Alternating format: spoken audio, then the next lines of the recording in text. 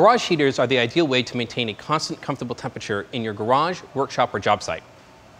Unlike central heating systems or space heaters, garage heaters rely primarily on infrared heat.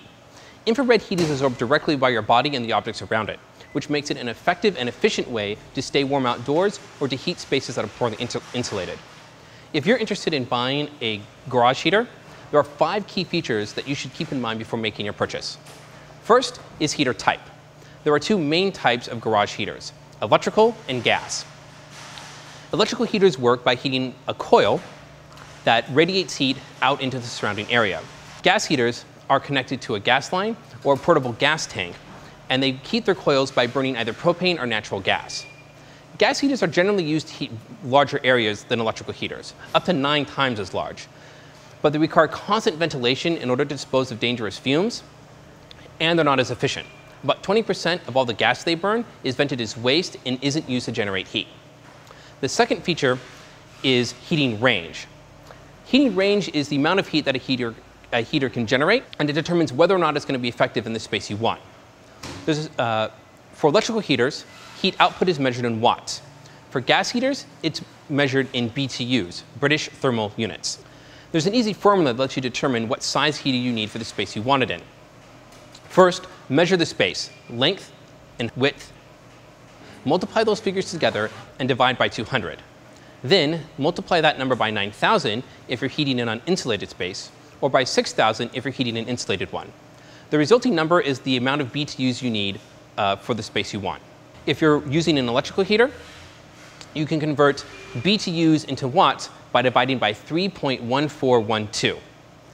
The heating range on NewAir units is always displayed on the side of the box.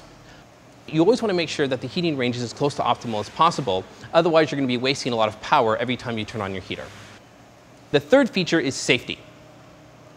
Garage heaters generate a lot of heat. That's why we recommend that you keep all combustible materials, such as furniture, bedding, pillows, paper, clothing, and curtains at least three feet from the heater at all times. To avoid, to avoid burns, make sure the heater has fireproof intake and discharge grating.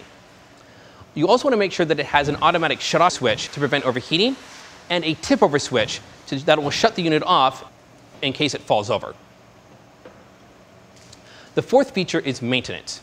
Electrical and gas heaters have very different maintenance requirements. Maintenance for electrical heaters is simple. With a damp cloth, wipe down the casing.